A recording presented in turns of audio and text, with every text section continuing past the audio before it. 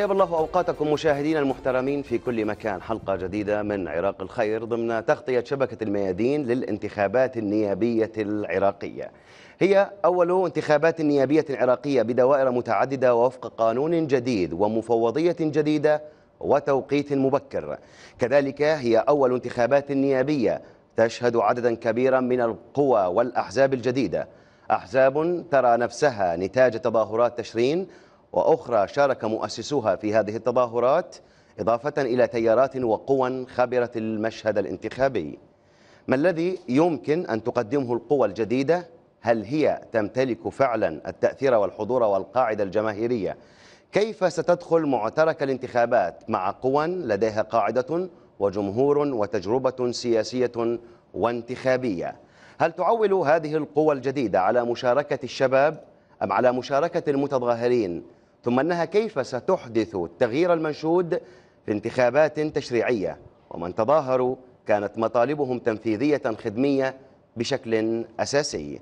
الانتخابات المبكرة بين القوى التقليدية والجديدة. عنوان حلقة يا عراق الخير مع ضيفينا هنا في الاستوديو زينب التكمتشي وهي عضو ومرشحة عن مشروع قادمون للتغيير وفلاح الجزائري وهو مرشح مستقل. أهلا وسهلا بكما. في استوديوهات الميادين في العاصمة العراقية بغداد أسأل فلاح الجزائري أنت كنت سابقا مرشح عن تيار حزبي اليوم مستقل ما السبب؟ يعني أنا سابقا كنت مرشح في تحالف الفتح نعم واليوم القانون الانتخابات يعني كانت أكو سطوة وحضور وحظوظ أيضا للكتل الكبيرة أن يذهب الكثير إلى انتخابها. اليوم الكل يعني يذهب إلى الأشخاص، بالتالي القائمة الكبيرة سوف لن تنفع المرشح ما لم يكن هناك. أداء سابق أو أثر قد تركه على الساحة الخدمية أو الساحة الاجتماعية أو عمل معين له بصمة في هذه المنطقة التي رشح فيها.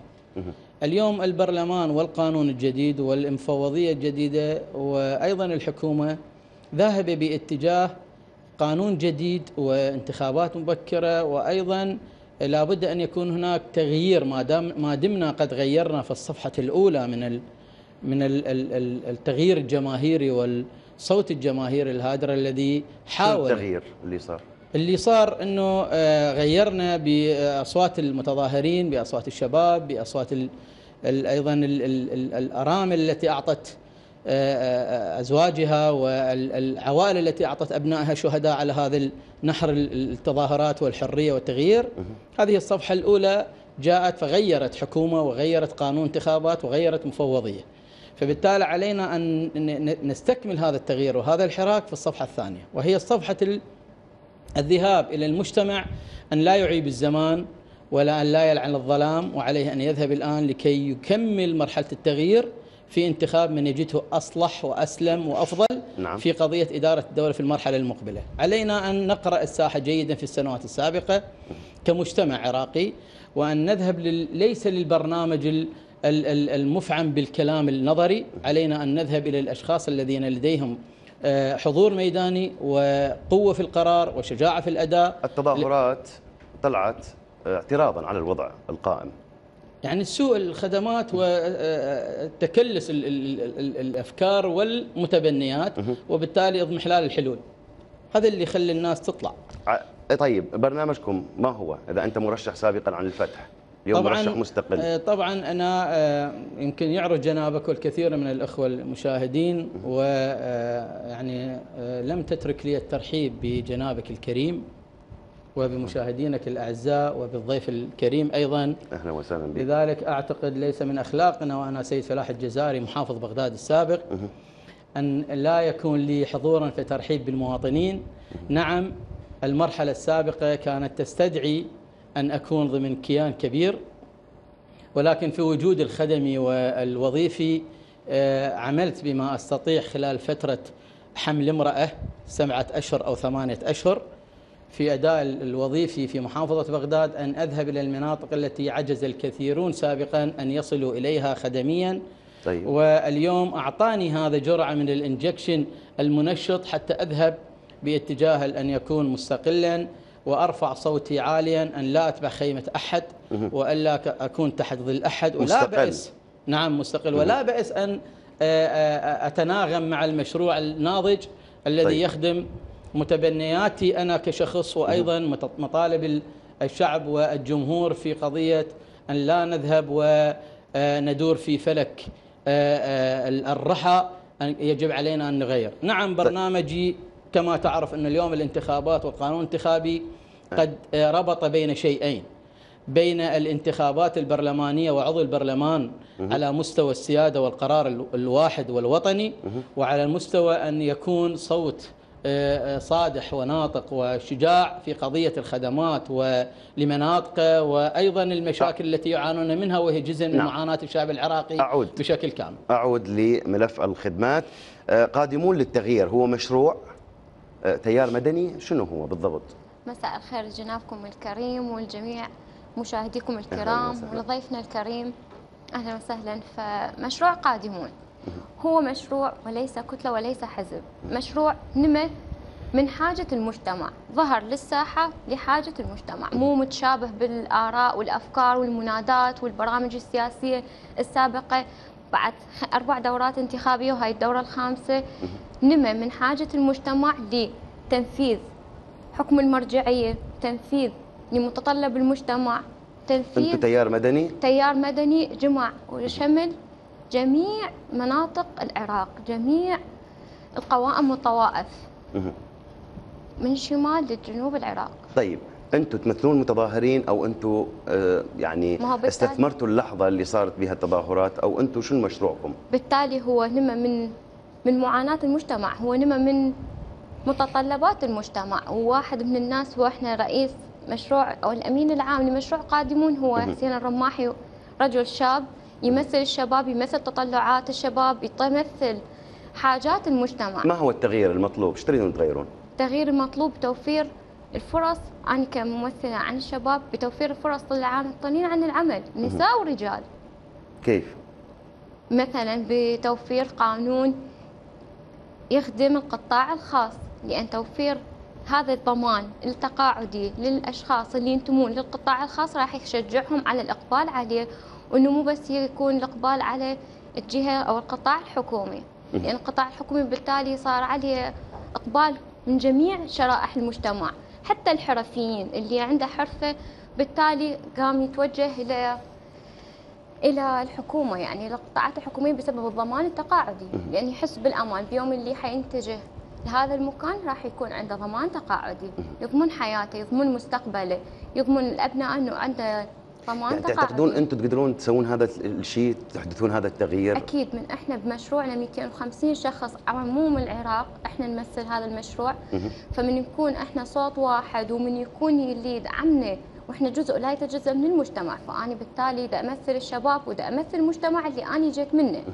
فبالتالي من إحنا نكون صوت واحد أكيد راح نقدر نغير ونقدر نثبت هاي القوانين. شلون التغيير؟ إذا أنتم لأول مرة تدخلون دخلتوا الانتخابات. التغيير تغيير يبدأ بشخص وبمجموعة أشخاص معاه فأكيد يوصلون التغيير. من يشرعون قوانين وتتنفذ بشكل صحيح لأن إحنا اليوم من المتبنيات مشروع قادمون الانتخاب المزدوج. أنت اليوم تنتخب نشارك المواطن بعملية الانتخاب كممثلي مجلس نواب وكممثلي إلى بالجهة التنفيذية. بالحكومة. الانتخاب المزدوج. بس بالقانون كيف؟ هذا راح تغيروه بالقانون تشريع قوانين تخدم المجتمع. ما يحتاج أغلبية بمجلس النواب لو أنتم تريدون بداية فقط. الأغلبية وبال خاصة هسه الدوائر. الدوائر ال- اللي تمثل مناطق جغرافيا راح يكونون هم صوتنا مو إحنا بس نكون صوتهم. إحنا حنكون إيد واحدة من نتعاون بالجزء لا يتجزأ من المجتمع فأكيد راح نوصل صوتنا بشكل صحيح. آه سيد فلاح. البرلمان عذرا.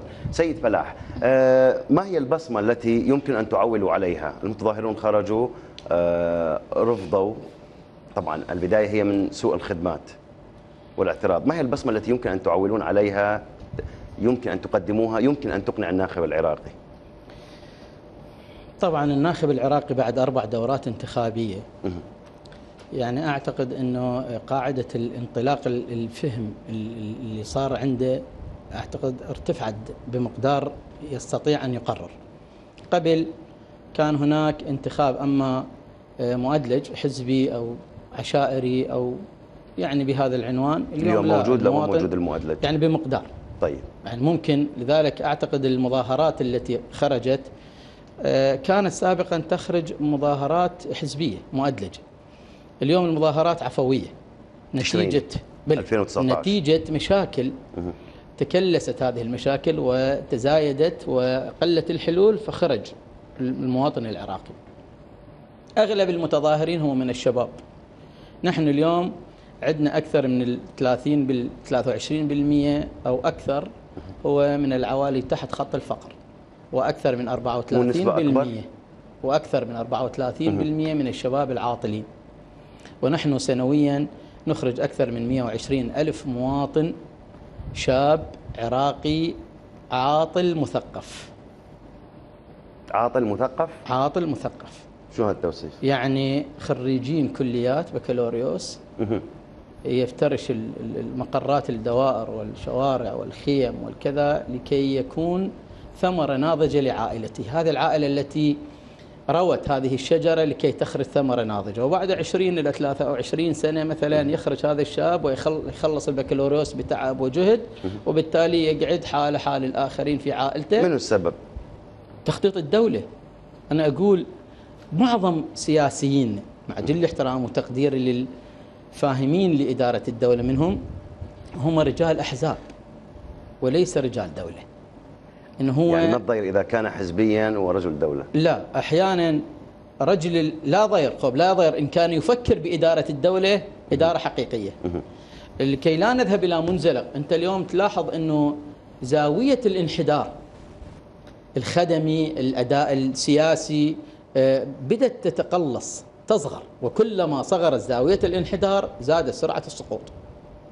فبالتالي خلال هذه السنوات كلها إحنا صار عندنا صار عندنا انحدار إلى درجة ما أكو وزارة اليوم أو جهة خدمية ممكن أن نطلق عليها إنه هي تعمل ب 50% 50% ولا تصور. 50%. ولا 50% لأنه اليوم هي عبارة عن فرشة وكومة حصص ممكن أن يأخذها هذه حصة الجهة الفلانية وهذه الجهة الفلانية وهذه الجهة الفلانية. يعني قد يقال ان الحصص هي عبارة عن تمثيل للاستحقاق الانتخابي يعني. أحسنت. ليش ما أجيب الشخص المهني وليس الشخص الموالي؟ مشكلة إحنا الولاء فوق الخدمة.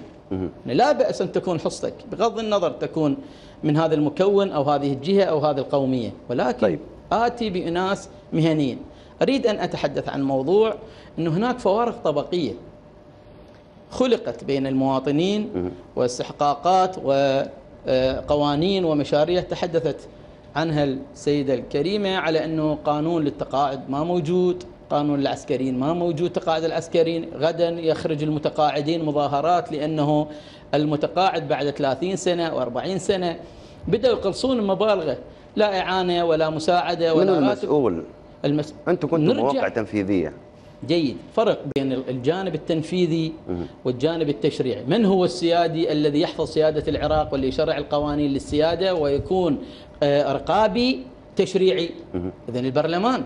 عليه أن يتابع الخلل نقاط الخلل. الفساد مثلا كان أشخاص. اليوم أصبح مؤسسة. من سبب؟ اليوم مؤسسة الفساد؟ نعم مؤسسة. مؤسسة واضح. قبل كنا نسمع ببيع المناصب. اليوم لا نرى بيع المناصب. على سيرة بيع المناصب يوم أمس تحدثوا عن أرقام. أكو مقاعد والمشكلة يعني يا 10 ريت يبيعون. الأوراق ويشترون مثلا المناصب يشترون على داخل العراق لا يروحون هم منعمين بالدول الأخرى وجلسات وكذا. هاي معلومة أو ده واضح أستاذ ترى لا لا لا يمكن أن أن أن تحجب الشمس بغربال. وهذه مثلا. كثير من المناصب استاذي على المستوى يعني على المستوى السياسي على المستوى الخدمي وزارات مناصب وكلاء. مدراء عامين وانت نازل. ها؟ بس. اخاف إنه بيرجع حتى إلى مستوى مدير الشعب وكذا لذلك. أقول عندما تكون لدينا مجموعة من القيادات التي تعي حجم المسؤولية وأيضا تتفق على الخطورة. لا نغازل ولا نداهن على حساب سيادة العراق مثلا أو على حساب الانحراف في العمل التنفيذي أو الانحراف في العمل التشريعي. أنا أسألك سؤال. ما هي عدد أيام البرلمان العراقي الآن في الدوام؟ إذا نجي نحسبها متظاهرين وكورونا وما إلى ذلك والآن ماكو. وين التشريعات طيب نرجع للسؤال. شنو البصمة اللي ممكن تعولون البصمة عليها؟ اللي ممكن نعول عليها إنه أول مرة يعني نمنع الفارق الطبقي الذي يجب أن يكون القانون هو الخيمة على الجميع. ليش أكو فوارق طبقية في القانون؟ من أعطى الحصانه لهذا وأعطى الحصانه لذاك؟ وانه القانون يحاسب الفقير ولا يحاسب الذي لديه آه، آه، موضوع أو عنده من يدافع عنه. اذا يجب أن يكون القانون هو المظلة التي يحتمي تحتها الجميع. هذا الجانب الأول. ممكن أعقب على الجانب. الثاني نسمع تعقيب عفواً. فعلا هذا بسبب إنه الأحزاب نمت لقومية أو لطائفية أو لشخصية أو لزعامات ما نمت إنه هي عقائدها الوطن. عقائدتها هي الشخصية اللي تتبعها أو القومية والطائفية اللي تحزبية. فئة تحزبية فبالتالي لغت إنه لغت المواطنين وظلت بس فئة التحزبية وإنه بقوا بهاي الدائرة وبعد الانتخابات وفوزهم هم ينادون نفس المنادات ونفس المتطلبات ونفس الشعارات بعد الانتخابات بس يقسمون المناصب والمكاسب بيناتهم هذا الموضوع اللي يكون بعد؟ الانتخابات أغلبية الأحزاب الأغلبية الأحزاب اللي نمت هي مو لضرورة المجتمع هي لضرورة تقاسم المناصب والتكافؤ اللي بيناتهم. طيب أنتم ممكن تحدثون تغيير؟ كيف تقدمون نفسكم تميزون نفسكم كقوة أو كتيار مختلف عن البقية؟ إحنا اليوم نتميز إنه إحنا الأغلبية الصامتة إحنا الأغلبية الصامتة؟ إحنا الأغلبية الصامتة اللي ظهرت لأن إحنا إيش قد اللي يدافعون عن هذه الأحزاب؟ إيش قد اللي يشجعوهم؟ حتى إيش قد المنتفعين منهم؟ 14% 15 20% هذا ما يمثل الشعب هذا ما يمثل الاغلبيه العظمى. فهاي تمثل حتى وإن كانت الانتخابات 51% بالمشاركة هي غير غير مقبولة لأن ما تمثل رأي الأغلبية. فعندنا هنا مشكلة إحنا بالانتخابات الوطنية إنه أكو انتخابات غير سليمة مو انتخابات واضحة هو وصريحه أصلا أكو أحباط. أكيد في ثقة. أحباط. ها؟ انعدام ثقه انعدام ثقة بس أكو إحباط يعني أكو بال- أمل إنه يشارك الناخب ممكن ممكن ممكن. أكيد. ممكن إيه يعني قد بالحسابات؟ بسبب الأغلبية الصامته وبسبب وعي وثقافة المجتمع حاليا والآراء واللي وضوحت قدامك كل السياسات وكل أفكارهم والأشياء اللي دا يتبعوها ما هي أصلا مشتريها يعني المشاريع اللي دا يتحدثون عنها هم حتى الصورة اللي دا يعرضوها للمجتمع أو للشعب العراقي هو مشتريها مستوردها مو منتجها إنه من لأن الفكرة اليوم من تطلع من قلب الشخص إلى القلب المواطن تكون واضحة صريحة. فكي طيب. بالتالي المشاهد اليوم مو يعني اليوم الرؤية قدامه واضحة الرؤية واضحة لكن إذا أكيد. من عدم الثقة شلون؟ أنا ردت اكمل بس أي. ما أنه يعني قاطعتوني تفضل. أسمح لكم لا لا هي مداخلة مداخلة مداخلة اولا إنه خلال هذه السنوات الساده هسه العزيز. النواب من راح تضطرون إنه تأخذون الاذن بلي بلي. وقت ما شو اسمه. بالموفقيه إن شاء الله. الله. يعزك. آه، كل هذه السنوات أستاذ العزيز آه، ما قدرنا نخلق إنسان. لذلك للأسف منو ما قدرنا؟ يعني أم، عندما نتحدث نقول ما قدرنا المتصدين إلى القرار السياسي وبناء الدولة. ما قدرنا نخلق إنسان. لذلك انعدمت الثقة. يعني الآن إحنا محافظين على كرامة الإنسان العراقي مثلا في عيشه في التعليم في التربية في ال- الصحة في الصناعة والزراعة والاستثمار. قانون الاست- الاستثمار أصلا طارد للاستثمار من نعدله نساعد يعني يعني, أنا كنت محافظ أجيب لك نعم مثل تفضل. حتى أبني مدرسة حتى أبني مدرسة وجنابك تتبرع لي بقطعة أرض. اشرح لنا كيف نبني مدرسة؟ حتى تتبرع لجنابك تبرعت له بقطعة أرض. يعني راونا النبع عربي حتى إنه إحنا نقدر نبني مدرسة وأنت المتبرع. وبعدين ما يوافقون. هاي الأرض إلمن وليش وكذا. يا عمي عندنا خلل مدارس ما عندنا. من المفروض القانون يتعالى عن هاي الجزئيات. يعني أنا لما أريد أبني مدرسة وعندي عجز وعندي أراضي أجي أقول والله هذه الأرض إلمن وليش ولازم تكون جنسها كذا ولازم يا عمي خلينا نبني المدرسة. أطفالنا يعني تصور اليوم أكو موضوع. هناك أربع مدارس. لا توافق وزارة التربية ولا المحافظة على تخصيص؟ اليوم في سبع قصور ببقى اليوم أنا راجعت احد الدوائر أربع مدارس راح يفرغونها من التلاميذ والطلاب وينقلونها إلى مدرسة كرفانية لأنه ما جاء يصير تخصيص لاستمرار ايجارهم جيد. السبب؟ السبب إنه الدولة ما تريد تأجر أو ما تريد تخصص يا عمي لا تبني ولا تأجر وما عندك مدارس وين تروح هاي ال 4000 طالب؟ هاي بالعاصمة بغداد. هاي سبع قصور. وتعال ما ما ما يعني ما شو أسولف لك على المنطقة اللي أنا مرشح عليها الحسينية، البارحة أنا ليلا زرت مدرسة. نعم. المدرسة آلة للسقوط. لا يمكن أن تكون مخزن. تتساقط.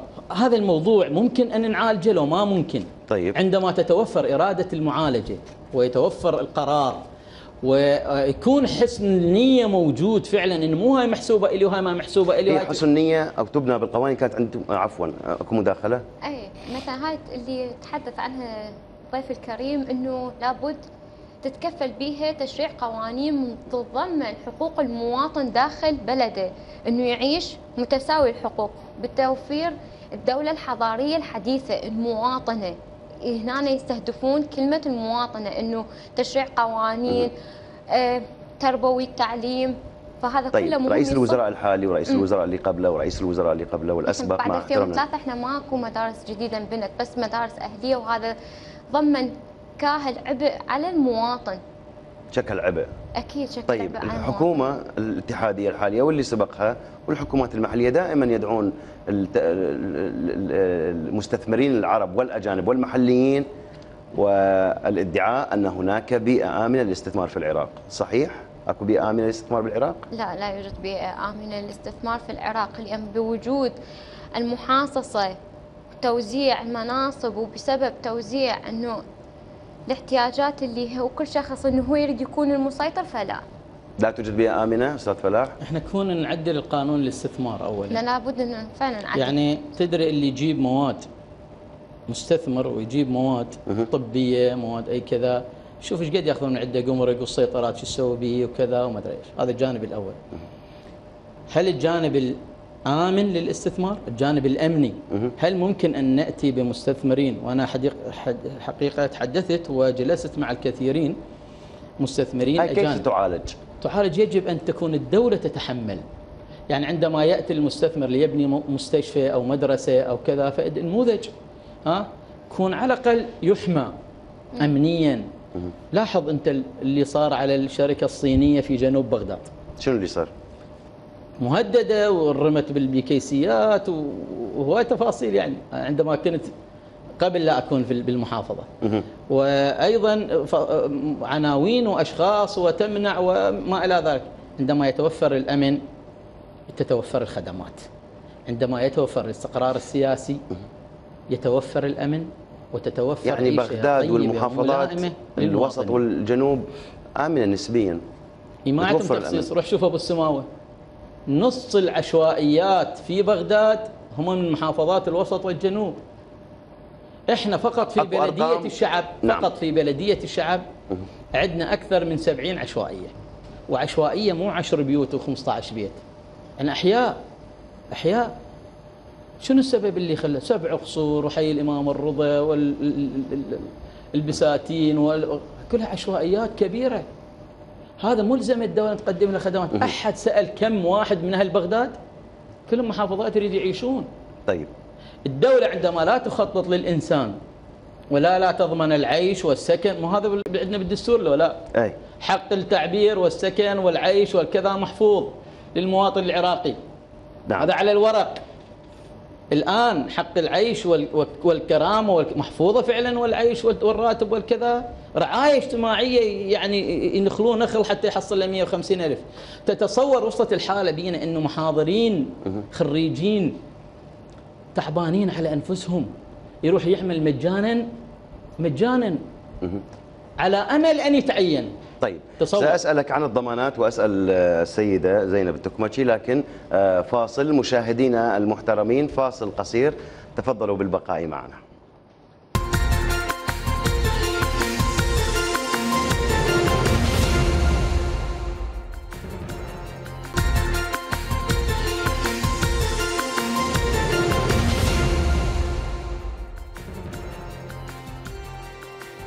أهلا وسهلا بكم مرة أخرى مشاهدينا المحترمين من استوديوهات قناة الميادين في العاصمة العراقية بغداد ضمن تغطية الميادين للانتخابات النيابية العراقية. حلقة يا عراق الخير مستمرة.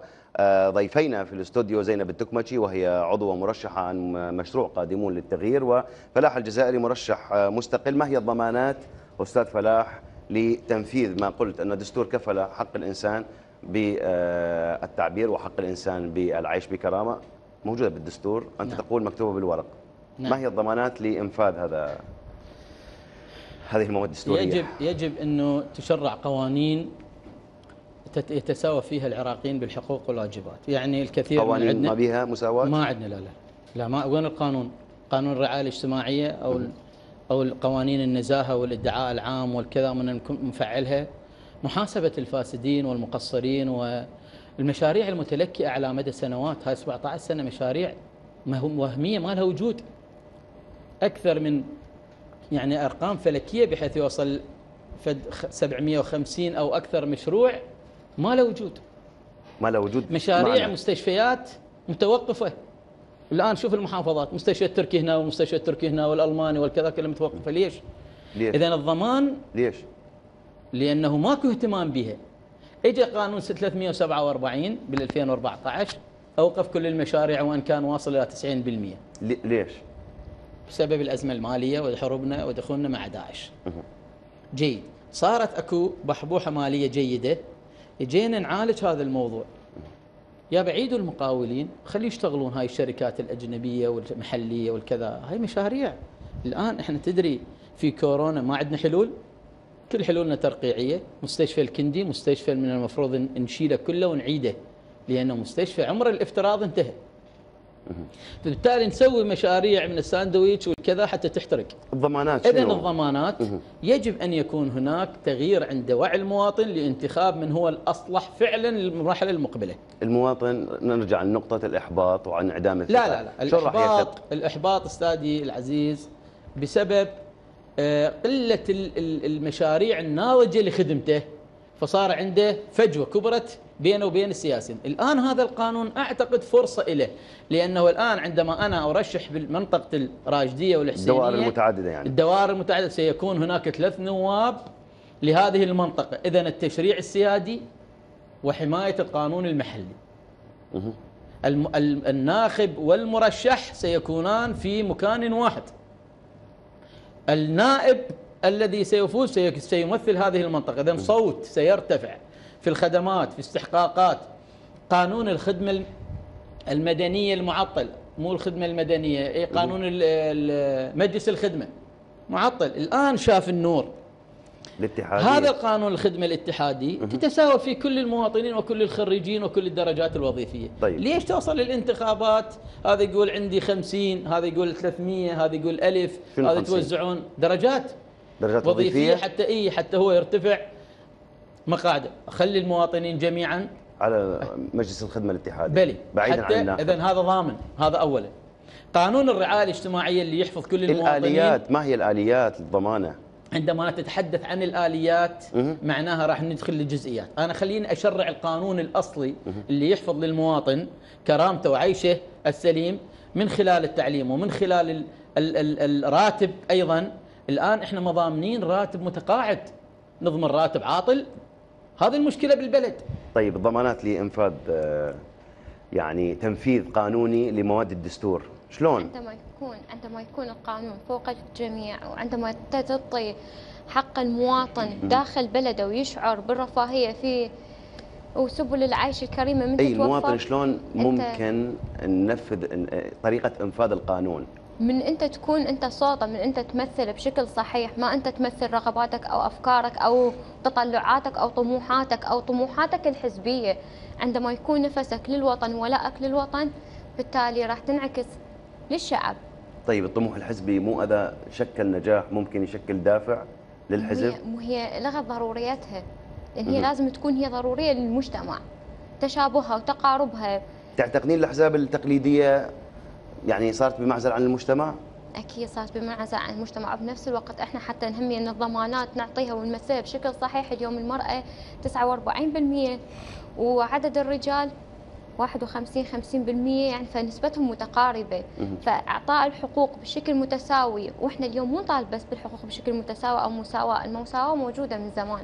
لكن تفعيل العدالة للمرأة تفعيل المرأة إنه هي قادرة على إدارة مصنع. إحنا إيش قد عندنا لجان اليوم؟ نساء نسوية داخل وزيرات وزيرات نساء عندنا نائبات؟ أكو كوتا أصلا نسائية؟ اي بس 25 بشكل بشكل قليل مو 25. بشكل بشكل إنه اللي هي لأن هي نسبة إحنا عدد النساء ويا عدد الرجال في المجتمع متقاربة. يعني 50% 49% مو فد فرق شاسع. يعني هسه أنا متأكد من النسب هاي دقتها. هاي بال 2020 كانت هاي النسب. لأنه إحصاء ماكو كذا لكن المهم النسبة متقاربة لهالحد بينما إحنا حتى حتى يعني طالبين أكثر من 25% الكوتا؟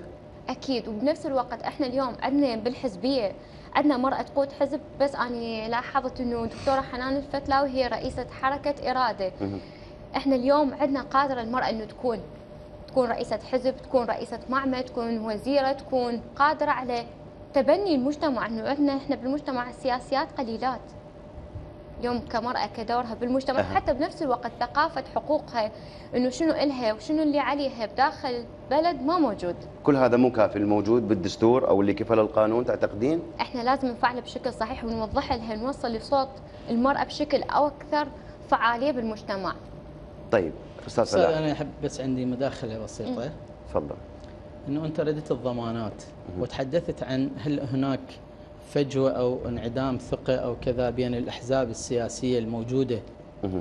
والمواطن. المواطن هو ناقم على كل الأداء ولكن عندما نأتي إلى الأحزاب الكبيرة الآن الموجودة هذه الأحزاب اليوم تجذرت. صار عندها جمهور صار عندها مناصب صار عندها أموال وصار عندها مشاريع ويعني دول داعمة وأموال أيضا آه، مصادرها مبهمة. فبالتالي من الصعوبة اليوم مصادرها مبهمه من الداخل ولا من الخارج؟ لا من الخارج. خب مرات يعني واضحة. فلان أكو الطوق بعد كذا أموال من الخارج؟ ها؟ أكو بعد أموال من الخارج؟ أكيد طبعا. أكيد. أكيد. هذه الأموال اللي سوف- سوف تصرف وكذا ما معقولة كلها من من طيب. الداخل. فقصدي من ال- من الحديث إنه هذه ال- هذه ال- الكتل هي م- متربعة وموجوده على سدة الحكم على مدى 17 سنة. فمو من ال من ال ال ال ال الانصاف مثلا أو مو من الانصاف مو من الصحيح إنه نجي يوم بيوم وليلة ونقول كلهم راح يتغيرون. لا إحنا خلينا نبدأ بالتغيير ولو بمقدار رفع حجر. لكي يكون عند المواطن العراقي إرادة إنه أكو صوت آخر قد انسلخ من عباءة الكبار. المواطن العراقي اليوم يعرف إنه هو ينتخب نائب ما ينتخب وزير؟ لا هو هو نعم هو دا ينتخب نائب ولكن أحيانا يصير عنده خلط. أي إنه يعني هذا النائب ينتخب مشرع مو يكون هذا النائب يجيب له محولة ويجيب له آه، يبلط له شارع ويسوي له بوري هو هذا عمل مي. نائب؟ مو عمله. ولكن أنت يعني أحيانا آه، إلمن تروح تراجع.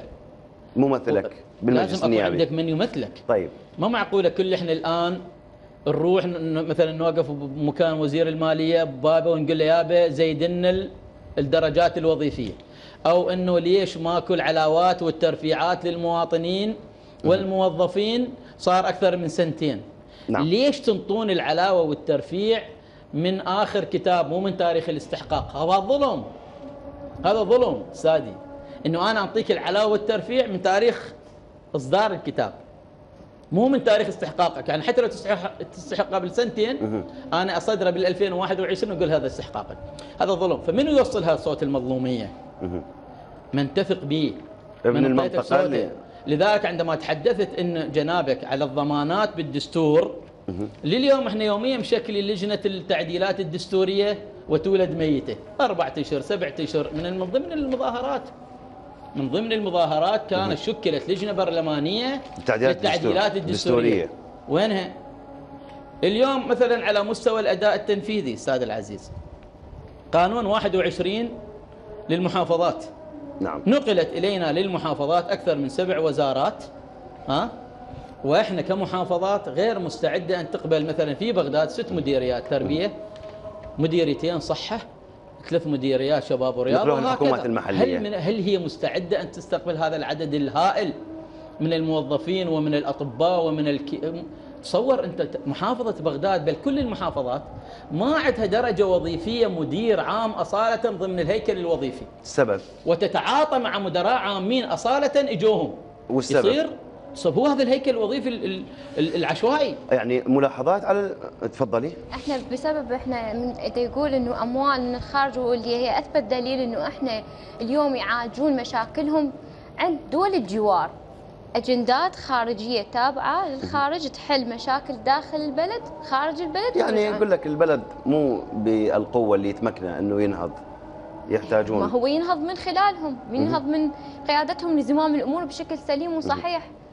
عندك ملاحظات على الدورات النيابية الأربعة؟ لذلك أنتم قررتوا هالمرة إنه تدخلون؟ حتى تفعيل المرأة تفعيل المرأة إنه يكون بشكل مكسور إنه يعطيها فد حقوق هيك بسيطة يقول لها انت تقدرين تشتغلين بهذا المجال وهو على بدء بعيد هو راح يكسرها أصلا إنه إيش قد راح يوفر لها وإيش قد راح تخسر مثلا من صحتها أو من مجهودها أو فلا بد أنت اليوم توفر لها حياة وعيش كريمة باتحادات نقابات تتابع حقوقها وعدم استغلالها. يعني برنامجكم أنتم كمشروع مركز عاطي مساحة لدور أكيد المرأة؟ منطي على دور المرأة بشكل كلش كبير. شنو ممكن تقدرين تغيريه انت مثلا بحاجة المرأة العراقية بمجلس النواب؟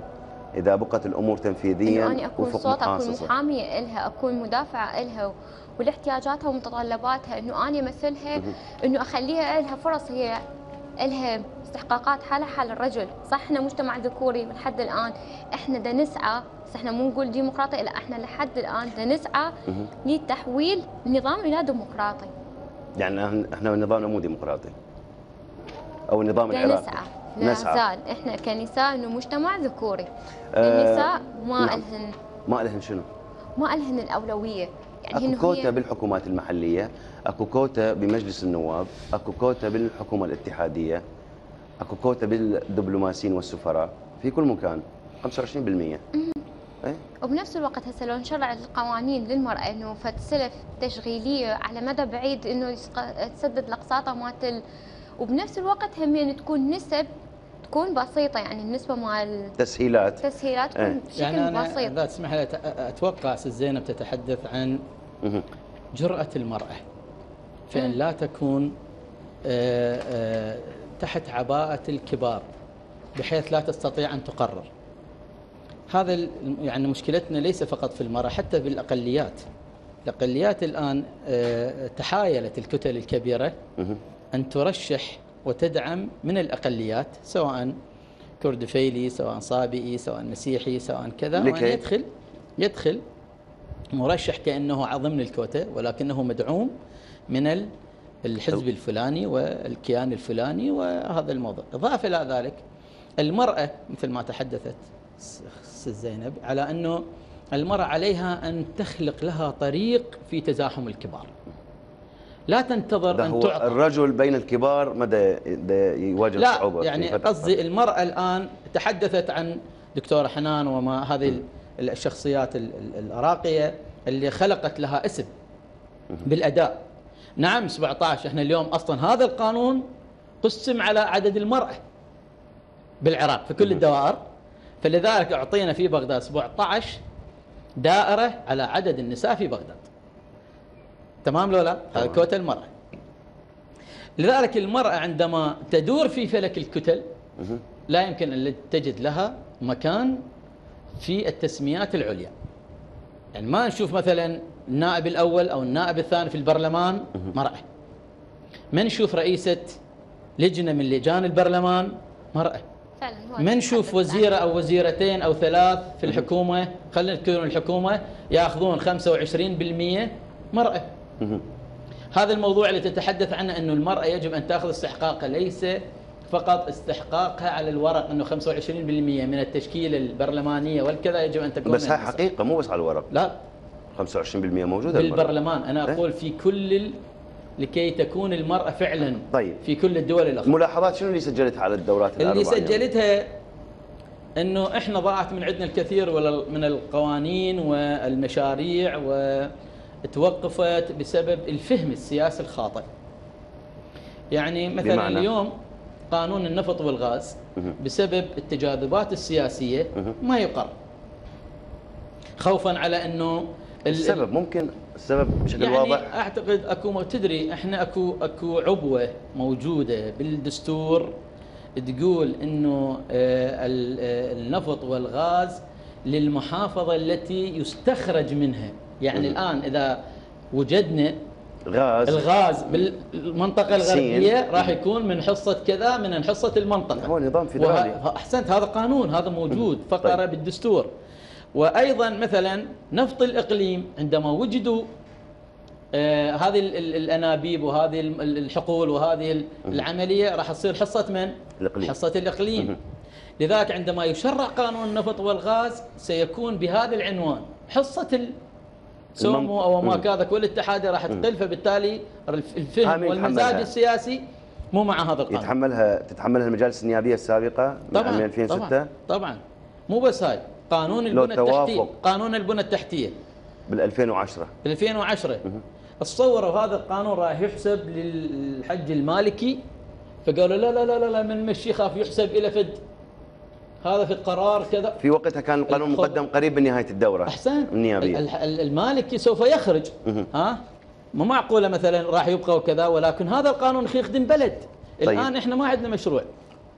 مشروع تقاعد الموظفين اللي تحدث تحدثت عنه الست على إنه العاملين بالقطاع الخاص. اليوم نريد نشرع لهم في قانون ضمان اجتماعي قانون تقاعد قانون يعيدهم جرح القوات ال- ال- ال- الجيش والحشد والقوات الأمنية. ماكو قانون نعم. يحميهم. طيب. أراضي ما عندهم تصور. أنت معظمهم يسكنون العشوائيات. طيب. فعلا هذا هم يعني إيه، إحنا نطالب بتفعيل قانون الاستثمار ووزاره التخطيط ووزارة الإسكان إحنا كم وزارة وزاره العمل والشؤون الاجتماعية من يتحالفون فيما بينهم هذين الوزارات أكيد راح يجدون حلول للمشاكل لأن ما يقدرون يشتغلون بمعزل عن بعضها لأن هو كل وزارة تكمل الوزاره أخرى، ثاني نقطة إحنا اليوم إذا قضينا عن البطاله وهواية عندنا مشاكل بالمجتمع متفشية بسبب البطالة منها الجرائم منها. منها الطلاق منها العزوف عن الزواج منها بعد ما عنده مثلا روح حب الدراسة والاستطلاع إنه يقول أنا بالتالي من دا أتخرج أنا ما مستقر. أنا إنسان عاطل أنا إنسان عالة على المجتمع أنا مهم. إنسان ما ماخذ دوري بشكل صحيح بالمجتمع أنا ما موظف دراستي اللي تعبت بها بشكل يخدم مجتمعي أو يخدم أبناء البلد اللي أنا دا أنتمي إليه فبالتالي دا يتهمش ودا يهمش دوره فإحنا البطالة جدا مهمة إن قضينا عليها راح تنقضي هواية مشاكل تبع لهذا الموضوع أنتم عندكم قاعدة شعبية أو جمهور ممكن تعولون عليه يساعدكم وتحدثون هذا التغيير هذا تغيير جذري تتحدثين عنه أي أكيد كبير. أكو أكو جمهور هي الأغلبية الصامته اللي ظهرت بال بالتشرينيين اللي ظهروا واللي هم نفسهم عندهم هذا الوعي الثقافي اللي وصلنا إليه. دول راح تعتقديهم يشاركون أكيد راح يشاركون بالانتخابات. لأن هذا حق من حقوقهم لأن هو إحنا ما راح أقول لك إنه هو ما محاسب قانونيا إذا ما راح ادلى بصوته بس نفس الوقت هو مؤمن إنه هذا حق من حقوقه حتى يدلي بصوت ويكون له شخص يوصل له ويوجه له نداء بأي موضوع يخص المجتمع أو يخص الجهة والمكان اللي ينتمي إليه. فهذا الشخص بالتالي حيكون حلقه وصل بينه وبين مجلس النيابة حتى يوصل صوته ويشرع له قوانين تخدمه. أكو بعض المتظاهرين عزفوا عن المشاركة بالانتخابات علما كانت مطالبهم تغيير المفوضية بسبب تغيير القانون. التخبط وبسبب ضيعان الأوراق وبسبب إنه الأفكار المتشتتة والأشخاص اللي يظهرون ما أغلبهم نفس وطني. نفس وطني ما عندهم؟ ما عندهم نفس. عقيدتهم ماكو مو عقيدتهم الوطن عقيدتهم همين صارت الانتماءات اللي انتموا إلها. أه، سيد فلاح هل تعتقد أنه فعلا بالإمكان أو لديكم الثقة في أحداث تغيير منشود خصوصا أنه الطبقة اللي تحركت هي طبقة الشباب يعني؟ نعم تدري الشباب يشكلون أكثر من 40% بالمجتمع العراقي. بل 65% يعني كمجتمع شبابي؟ آه، كمجتمع شبابي. يعني أنا عندي الدراسة تقول أكثر من 40 إلى 45% تمام. يعني إحنا علينا احتواء الشباب. يعني الآن الشباب وصل إلى مرحلة من القنوط واليأس آه، أحيانا تتزاحم عنده الأفكار. يعني ينظر إلى مستقبل مستقبل مجهول. يريد يكون عائلة يريد يعيش يعني كمواطن يسافر إيه. يعمل كذا. هذا حقيقه من الضامن له الضامن له الوحيد هي هاي الممارسة الديمقراطية كل أربع سنوات. طيب الآن عليه أن يذهب للاختبار والاختيار لكي لا يعيب على الآخرين ما وقعوا فيه. أها. هذا الجانب الأول. مسؤوليته هو يتحملها بأقل من نص دقيقة بقى لنا بي- يعني ممكن أنا أسرد لك بعض ال- النقاط اللي آه، اللي سجلتها حتى آه، نج- نجمل بها ال- إذا ممكن. يعني الآن إحنا ما عندنا فد حلول كدولة باحتواء الشباب. يعني شلون نحتويهم؟ ممكن إنه أنا أشجعهم على انطي قروض ميسرة وممكن إن يسوون مشاريع قصيرة أو طويلة أو متوسطة الأمد وأدعم المنتج المحلي وأحافظ عليه وأعظم الجمارك والمنافذ بحيث أنه أعتمد المنتج المحلي الآن أكو مشكلة كبيرة بالمجتمع العراقي وهو التهرب التعليمي. نسبة الأمية كثيرة وهذه قنبلة موقوتة الآن عندما تذهب إلى الممارسات الغير مجتمعية واللي هي مو متأصلة بالمجتمع العراقي تجد سببها طيب. هذه الفقر. حل أزمة السكن. فشل الوزارات الاتحادية بإكمال مشاريعها. كنا نعاني اليوم. مشاريع المي سبب وزارة البلديات وزارة الصناعة وزارة الكهرباء نعم. وزارة هذه المشاريع كلها. التخطيط الحضري وتسوية العشوائيات أيضا مهمة الدولة لازم برنامج تنفيذي ندعو الموفقين للجميع إن شاء الله. لمن يحملون واليوم أتمنى التوفيق لمنتخبنا الوطني. إن شاء الله, إن شاء الله. بالفوز. فلاح الجزائري مرشح مستقل زينب التكمتشي مرشح على مشروع قادمون للتغيير. شكرا جزيلا لكما. الشكر موصول لكم مشاهدينا المحترمين. هذا ما يسمح به وقت البرنامج. على أمل اللقاء بكم في حلقة أخرى. في أمان الله وحفظه.